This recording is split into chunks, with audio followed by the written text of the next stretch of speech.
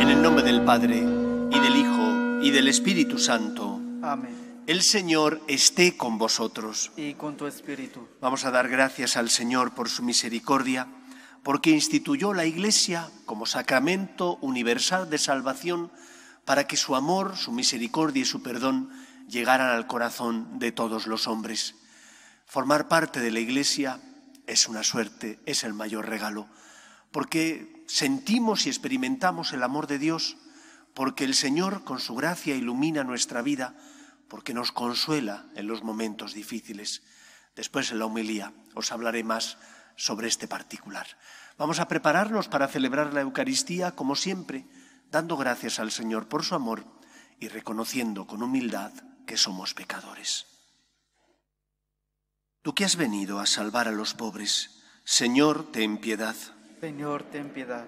Tú que dijiste que había en el cielo más alegría por un solo pecador que se convirtiera que por 99 justos que no necesitan conversión, Cristo, ten piedad. Cristo, ten piedad. Tú que eres el camino, la verdad y la vida, Señor, ten piedad. Señor, ten piedad.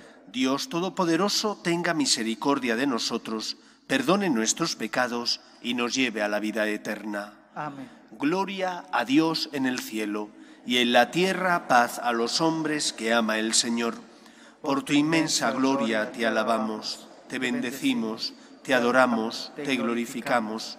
Te damos gracias, Señor Dios Rey Celestial, Dios Padre Todopoderoso, Señor Hijo único Jesucristo, Señor Dios, Cordero de Dios, Hijo del Padre. Tú que quitas el pecado del mundo, ten piedad de nosotros. Tú que quitas el pecado del mundo, atiende nuestras súplicas. Tú que estás sentado a la derecha del Padre, ten piedad de nosotros, porque solo tú eres santo, solo tú, Señor, solo tú, Altísimo Jesucristo, con el Espíritu Santo, en la gloria de Dios Padre. Amén. Oremos. Oh Dios, que manifiestas especialmente tu poder con el perdón y la misericordia, derrama incesantemente sobre nosotros tu gracia, para que deseando lo que nos prometes, consigamos los bienes del cielo. Por Jesucristo nuestro Señor. Amén.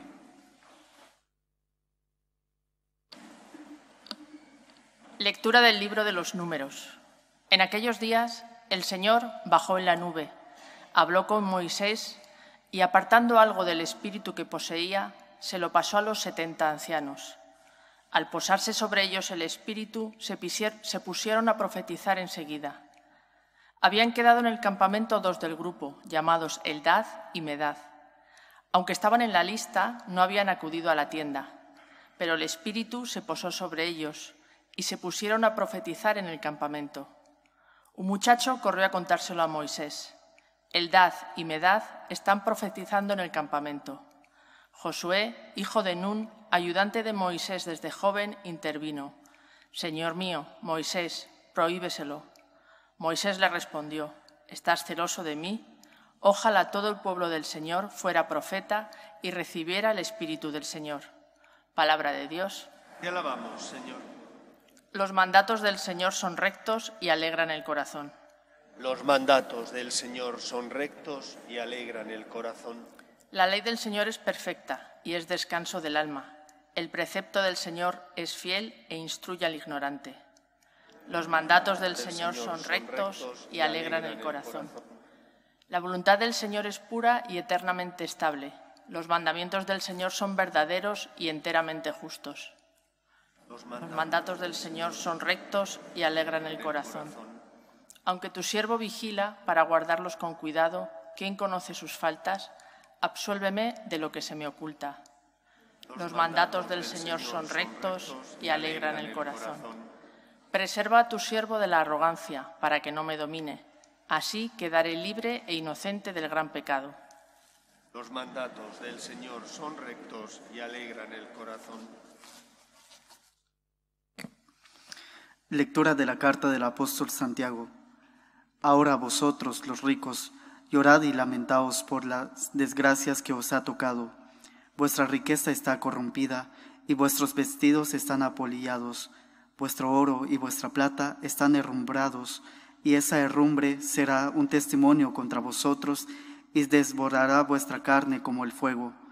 Habéis amontonado riqueza, precisamente ahora, en el tiempo final, el jornal defraudado a los obreros que han cosechado vuestros campos está clamando contra vosotros, y los gritos de los segadores han llegado hasta el oído del Señor de los ejércitos. Habéis vivido en este mundo con lujo y entregados al placer. Os habéis cebado para el día de la matanza.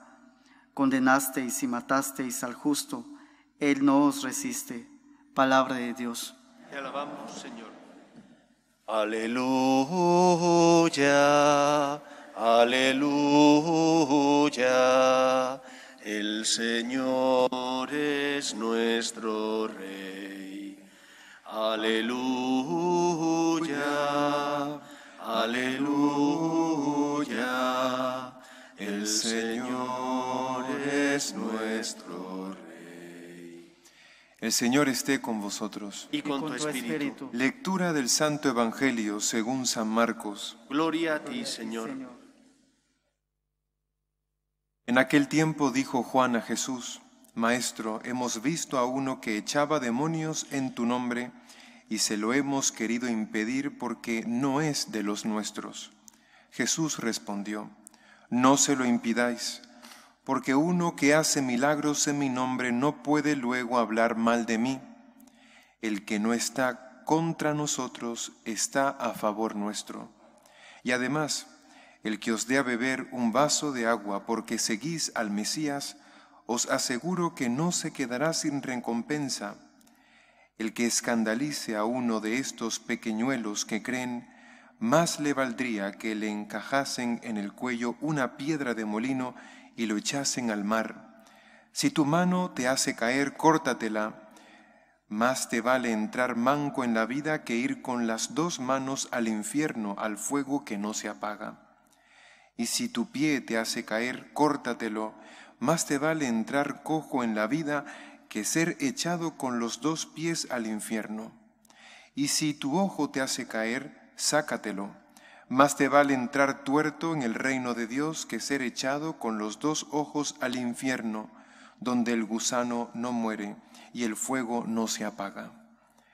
Palabra del Señor. Gloria a ti, Señor Jesús.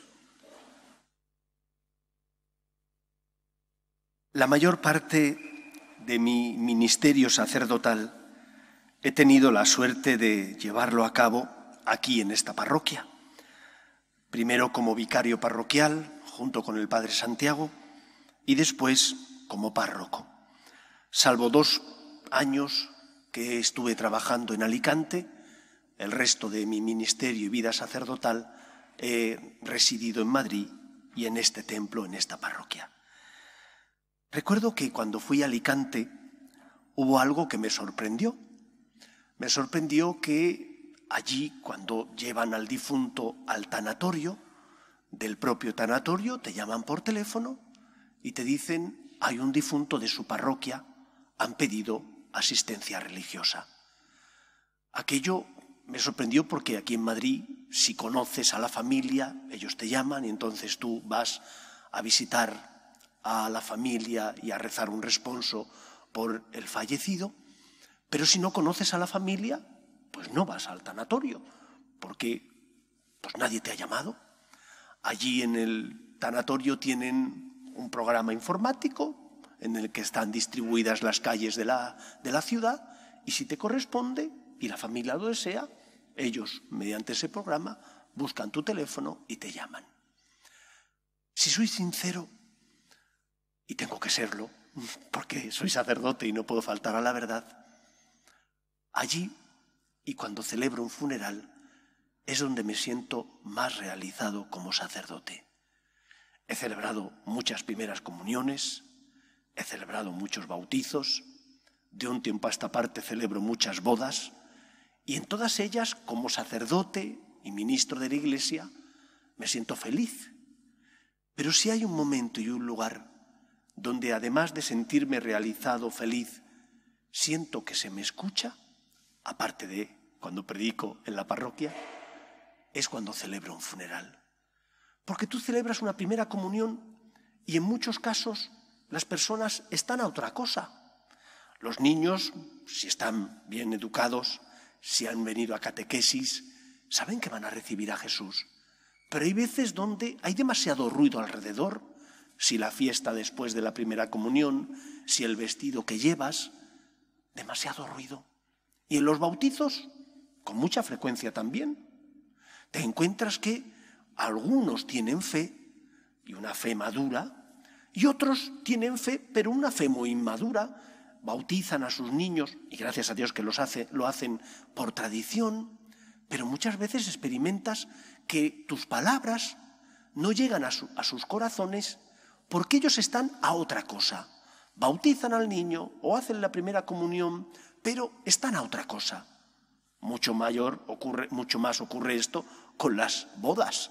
En muchos casos tú percibes que estás predicando y que los novios es que no te hacen ni caso, que están ahí enfrente, tú les estás hablando del amor cristiano, pero dices, bueno, ¿quedará algo de esto? Tienes que confiar en la gracia de que sí que va a quedar algo de lo que estás predicando, pero percibes que están a otra cosa. En los funerales no. Y no porque los que piden un funeral sean religiosos practicantes. Yo normalmente pido la ayuda de algún seminarista porque con mucha frecuencia en un funeral se escucha el eco. El Señor esté con vosotros. Y nadie te responde. Si está el seminarista, él me responde y de esa manera me hace la ceremonia más fácil. Pero percibes que hay una necesidad, porque están con el alma abierta, con una herida que sangra, que es la muerte de sus seres queridos. Y creo que esto, en una Europa secularizada como la nuestra, tenemos que recordar que nosotros como miembros de la Iglesia, cada uno en función de la vocación a la que Dios le llama y del lugar que ocupa, por tanto, en la Iglesia como cuerpo de, de Cristo, como templo del Espíritu Santo y como pueblo de Dios, tiene que llevar a cabo esa misión de ser consuelo de los que sufren. Y yo me he sentido de verdad que realizado como sacerdote en los funerales, porque llevas consuelo, porque llevas esperanza. Allí en Alicante yo tenía dos vicarios porque también llevaba dos parroquias y yo siempre que podía iba al funeral yo. Siempre que podía iba al tanatorio. No porque ellos no lo hicieran bien, sino porque yo tenía necesidad de llevar esperanza al corazón de aquellas personas que a lo mejor no volverían a ir a misa, no sé cuánto tiempo iba a pasar hasta que volvieran a pisar una iglesia, pero que se fueran con una palabra de esperanza, que alguien les hablara de la vida eterna, que les hablaran de que Dios, que es amor, envía a su Hijo al mundo para salvarnos y Él ha vencido a la muerte y por lo tanto, como San Pablo le dijo a los de Tesalónica, no quiero que ignoréis la suerte de los difuntos. En un mundo secularizado, la Iglesia tiene que ser consuelo y esperanza, sobre todo porque lleva el amor de Dios y porque nos hace hablar del horizonte que tiene que tener el ser humano, que es que la muerte no es el final. Después de la muerte, el Señor nos espera con los brazos abiertos. La muerte, gracias a la resurrección de Cristo, ha perdido su aguijón, dirá San Pablo, y se ha convertido en una puerta que nos da acceso a la vida eterna. Cuando tú les hablas del amor de Dios, que no están en el olvido, sino que sus seres queridos están en manos de un Dios que es Padre y que ama, eso les da paz y les da esperanza. Eso les ayuda a aumentar la fe, quizás pobre, que tenían en el corazón, pero que todavía tenían unos rescoldos y que gracias al amor de Dios esos rescoldos vuelven a tener el fuego del amor de Dios y el calor que ese fuego da. Como iglesia, todos nosotros tenemos que llevar esperanza. Y alguno dirá, es que no nos quieren escuchar. Hemos escuchado en el Evangelio cómo le dicen a Jesús, aquí hay uno que expulsa demonios en tu nombre. Y él dice, el que no está contra nosotros está a favor nuestro. En la iglesia cabemos todos. Y qué bien que podamos estar en ella personas que tenemos distintas sensibilidades. Los hay más sociales, otros más espirituales, hay personas que tienen más devoción a la Virgen María, otros que a lo mejor sienten la llamada del Señor a darse a los demás en las obras de caridad, ayudando a los pobres.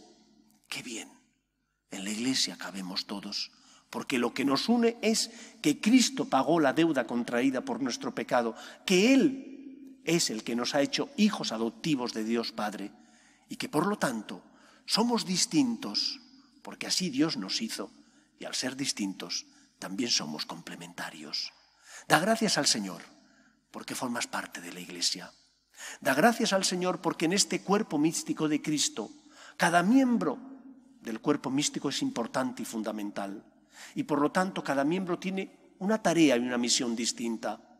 Tú no eres el Papa, ni eres un obispo, pero sí que eres un padre o madre de familia, sí que eres una persona que en tu trabajo tienes que ser instrumento de Dios por tus obras de amor y de misericordia, por la integridad de tus costumbres, por la manera en la que te comportas, iluminarás a los que pasan por tu vida. Cada uno tiene su misión y su tarea. Da gracias a Dios porque formas parte de la iglesia y pregúntate, ¿qué quieres Dios que haga? ¿Cuál es la misión que el Señor quiere que lleve a cabo?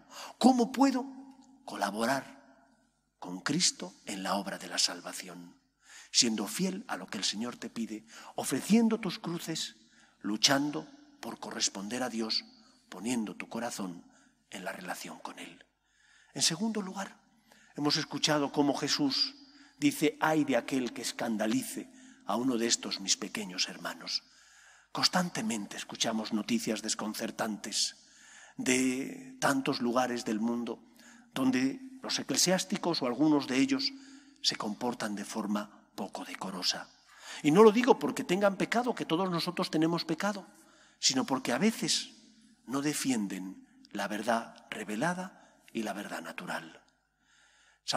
el Papa emérito Benedicto XVI, para hablar de la misión que Dios encomienda al Papa y a los obispos como transmisores de la verdad revelada, decía que la misión de ellos es como la de él que tiene que conservar las obras de arte en un museo. ¿Qué hace el conservador? Pues quitar el polvo que el paso de los años, que las velas a lo mejor han impregnado de esa veladura negra, ese óleo, limpiar las estatuas, pero no tienen que rehacer la obra que hizo el artista, tienen que limpiarla para que vuelva a tener su esplendor. La Iglesia no es la dueña del mensaje, es la que tiene que conservar el mensaje, decía el Papa emérito Benedicto XVI. Y por lo tanto tiene que ser fiel al mensaje de Cristo para transmitirlo íntegramente, adaptando no el mensaje, sino las palabras, la forma de explicar el mensaje a los signos de los tiempos. Porque no es lo mismo el lenguaje del siglo de oro español, del siglo XVI, que el lenguaje que emplean nuestros jóvenes. Habrá que adaptar el lenguaje, pero no la verdad transmitida por la Iglesia. Esa es inmutable y no puede cambiar. Cambiarán las formas de explicarlo, cambiarán los medios, pero no puede cambiar el mensaje porque el bien nos hace libres y no puede existir un bien distinto ahora de hace diez años o de hace tres siglos, porque entonces no hay una verdad firme, no hay un terreno firme sobre el que pisar. El Papa y los obispos no son los dueños del mensaje y no pueden cambiar el mensaje, son custodios y son como ese conservador del Prado, del Louvre o del Metropolitan de Nueva York, que tiene como misión hacer que la obra que pintó o que esculpió tal artista recobre el esplendor que tenía en su inicio.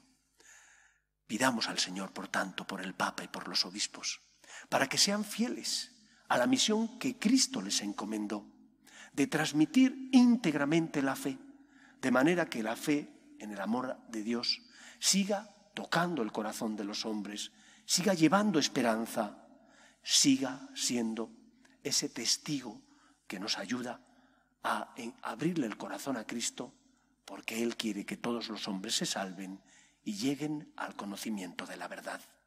En tercer lugar, hemos escuchado en el Evangelio cómo el Señor nos pide que si nuestro ojo nos hace pecar, nos lo saquemos. La Iglesia siempre ha tenido una visión positiva, tanto del cuerpo humano como de la obra creada por Dios. Nosotros no tenemos una visión negativa de lo material. Nosotros no somos gnósticos. Los gnósticos creen que la materia es degradación de Dios, de la divinidad, y que por lo tanto es algo malo, puesto que es degradación de Dios. Dios ha creado el universo y al hombre a su imagen y semejanza. Pero lo que nos está indicando el Evangelio es que Dios nos está haciendo una pregunta. ¿Cuánto valoras tu salvación? ¿De verdad Dios es el primero en tu corazón?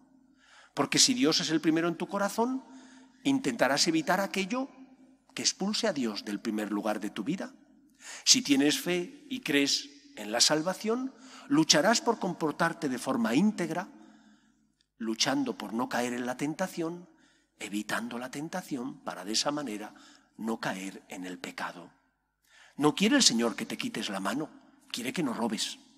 No quiere el Señor que te estirpe los ojos, quiere que tu corazón esté limpio y por lo tanto no mires con malos ojos, no juzgues, no tengas miradas libidinosas, no seas una persona que critica. El Señor no pide que te estirpes físicamente ningún miembro de tu cuerpo. Pide que te estirpes espiritualmente aquello que nace en tu corazón y de tu corazón y te hace pecar y porque intentas amar a Dios y deseas por encima de todo hacer su voluntad, luchas por no caer en el pecado y por lo tanto luchas por hacer lo que el Señor te pide, aunque te duela y aunque cueste, porque muchas veces tu corazón herido por el pecado original te pide que hagas cosas que sabes que no son buenas, que no te llevan a Dios y que no te hacen feliz. Por lo tanto, pidamos al Señor que espiritualmente estirpemos aquello que no nos conduce a la libertad verdadera, sino a la esclavitud, las malas pasiones, todo aquello que nos hace ser esclavos y por lo tanto no ser verdaderamente hijos de Dios.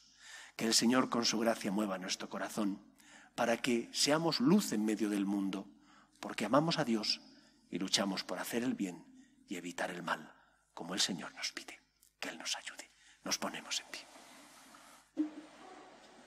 Creo en un solo Dios, Padre Todopoderoso, Creador del cielo y de la tierra, de todo lo visible y lo invisible.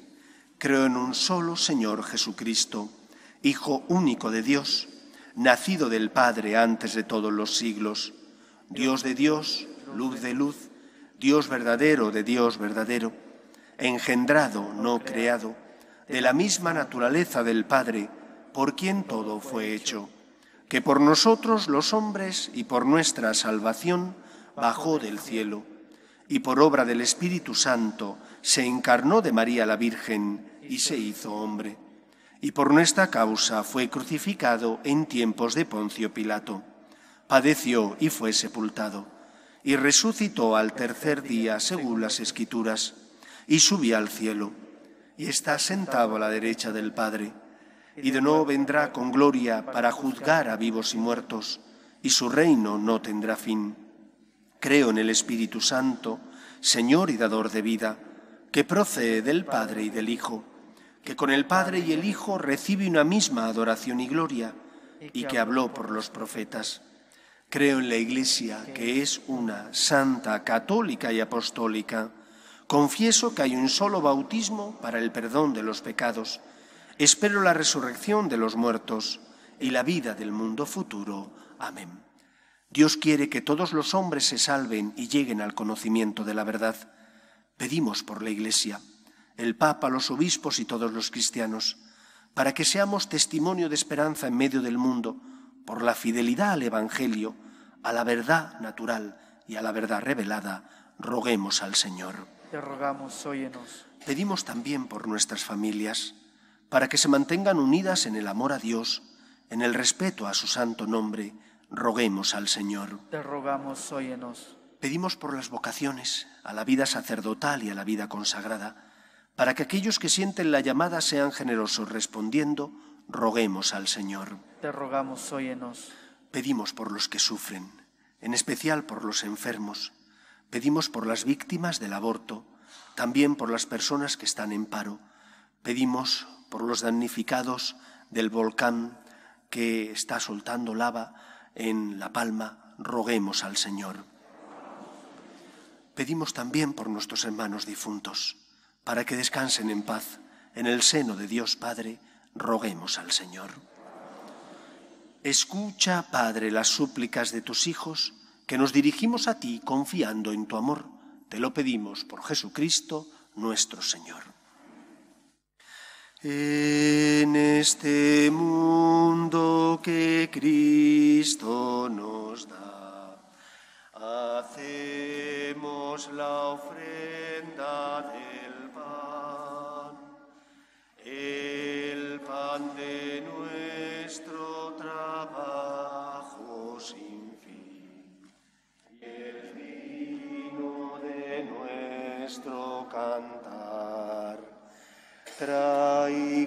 ante ti nuestra justa inquietud, amar la justicia y la paz, saber que vendrás, saber que estarás, partiendo a los pobres tu pan.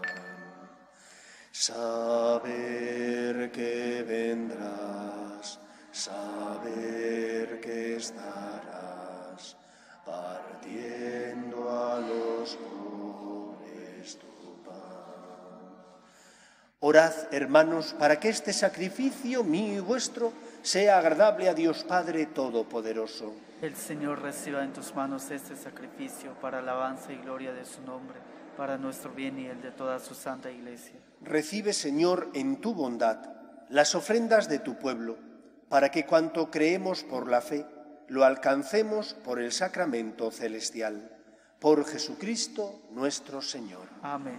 El Señor esté con vosotros. Y con tu espíritu. Levantemos el corazón. Lo tenemos levantado hacia el Señor. Demos gracias al Señor nuestro Dios. Es justo y necesario. En verdad es justo y necesario. Es nuestro deber y salvación bendecirte y darte gracias, Padre Santo, fuente de la verdad y de la vida, porque nos has convocado en tu casa en este domingo. Hoy tu familia, reunida en la escucha de tu palabra y en la comunión del pan único y partido, celebra el memorial del Señor resucitado, mientras espera el domingo sin ocaso, en, que la, en, el, el que la humanidad entrará en tu descanso. Entonces contemplaremos tu rostro y alabaremos por siempre tu misericordia. Con esta gozosa esperanza y unidos a los ángeles y a los santos, cantamos unánimes el himno de tu gloria. Santo, santo, santo es el Señor, Dios del universo. Llenos están el cielo y la tierra de tu gloria. Osana en el cielo. Bendito el que viene en nombre del Señor. Osana en el cielo. Santo eres en verdad, Señor, fuente de toda santidad. Por eso te pedimos que santifiques estos dones con la efusión de tu Espíritu, de manera que se conviertan para nosotros en el cuerpo y la sangre de Jesucristo nuestro Señor, el cual, cuando iba a ser entregado a su pasión, voluntariamente aceptada, tomó pan, dándote gracias lo partió y lo dio a sus discípulos, diciendo, Tomad y comed todos de él, porque esto es mi cuerpo, que será entregado por vosotros.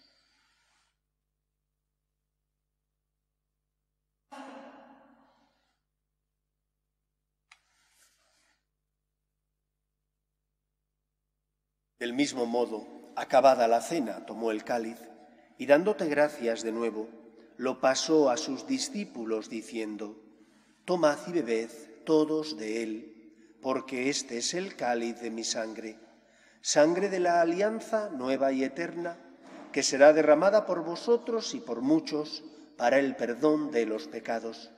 Haced esto en conmemoración mía.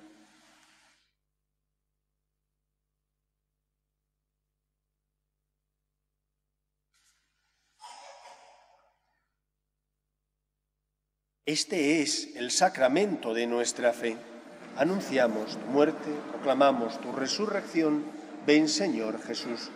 Así pues, Padre, al celebrar ahora el memorial de la muerte y resurrección de tu Hijo, te ofrecemos el pan de vida y el cáliz de salvación, y te damos gracias porque nos haces dignos de servirte en tu presencia. Te pedimos humildemente que el Espíritu Santo congregue en la unidad a cuantos participamos del cuerpo y sangre de Cristo. Acuérdate, Señor, de tu iglesia extendida por toda la tierra y reunida aquí en el domingo, día en que Cristo ha vencido a la muerte y nos ha hecho partícipes de su vida inmortal, y con el Papa Francisco, con nuestro obispo Carlos y todos los pastores que cuidan de tu pueblo, llévala a su perfección por la caridad.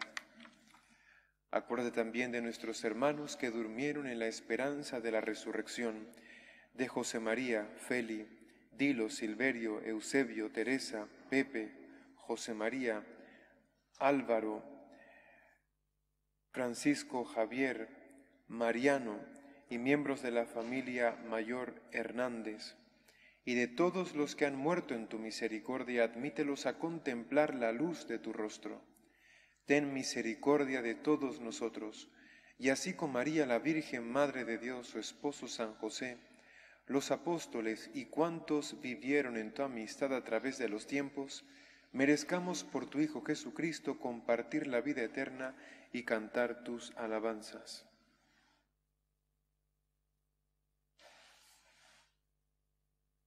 Por Cristo, con Él y en Él, a ti Dios Padre Omnipotente, en la unidad del Espíritu Santo, todo honor y toda gloria por los siglos de los siglos. Amén. Creo en la Iglesia y creo en una Iglesia dirigida, guiada por el Espíritu Santo. Creo en una Iglesia carismática. El Señor hace suscitar carismas que ayuden a que la Iglesia lleve a cabo su misión. Es verdad que tengo que preguntarme qué tengo que hacer cuál es la voluntad de Dios, porque ahí están las estadísticas que dicen que, por ejemplo, en España ya casi la mitad de los españoles se consideran ateos o agnósticos. Y me tengo que preguntar, ¿estoy siendo fiel a la verdad? ¿Estoy siendo fiel a Cristo? ¿Mi vida, por tanto, si soy fiel a Cristo, ilumina como tiene que iluminar? ¿Estoy haciendo lo que debo como sacerdote? ¿Rezo? ¿Ofrezco sacrificios? O mi vida como sacerdote deja mucho que desear. Pero yo no confío en mis fuerzas. Nosotros creemos y confiamos en el poder de Dios, que quiere que todos los hombres se salven y que moverá el corazón de los que formamos parte de la Iglesia para que seamos instrumentos suyo. Con esperanza rezamos juntos todos la oración que Jesús nos enseñó. Padre nuestro que estás en el cielo, santificado sea tu nombre, venga a nosotros tu reino, hágase tu voluntad en la tierra como en el cielo. Danos hoy nuestro pan de cada día, perdona nuestras ofensas como también nosotros perdonamos a los que nos ofenden. No nos dejes caer en la tentación y líbranos del mal. Líbranos de todos los males, Señor, y concédenos la paz en nuestros días para que, ayudados por tu misericordia, vivamos siempre libres de pecado y protegidos de toda perturbación mientras esperamos la gloriosa venida de nuestro Salvador Jesucristo. el poder y la gloria por siempre, Señor. Señor Jesucristo, que dijiste a tus apóstoles, la paz os dejo, mi paz os doy. No tengas en cuenta nuestros pecados, sino la fe de tu Iglesia, y conforme a tu palabra concédele la paz y la unidad tú que vives y reinas por los siglos de los siglos. Amén. La paz del Señor esté siempre con vosotros. Y con tu espíritu. Cordero de Dios que quitas el pecado del mundo, ten piedad de nosotros. Cordero de Dios, que quitas el pecado del mundo, ten piedad de nosotros. Cordero de Dios, que quitas el pecado del mundo, danos la paz. Este es el Cordero de Dios que quita el pecado del mundo. Dichosos los llamados a la cena del Señor. Señor, no soy digno de que entres en mi casa, pero una palabra tuya bastará para sanarme. El cuerpo de Cristo. Amén.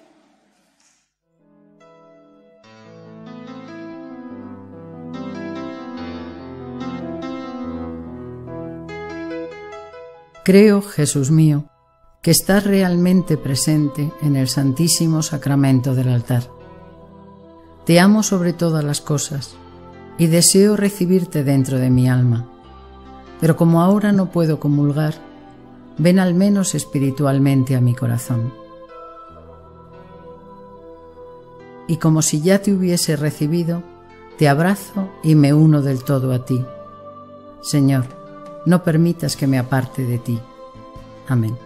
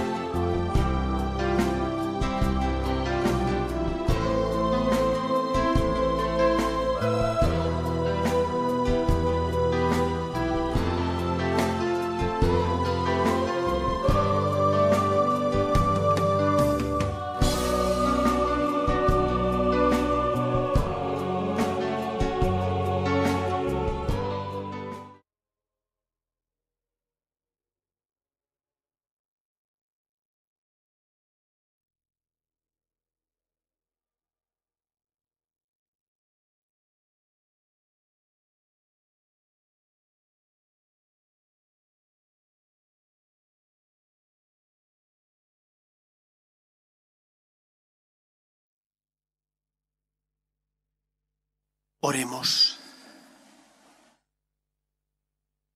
Que esta Eucaristía, Señor, renueve nuestro cuerpo y nuestro espíritu, para que participemos de la herencia gloriosa de tu Hijo, cuya muerte hemos anunciado y compartido. Por Jesucristo nuestro Señor.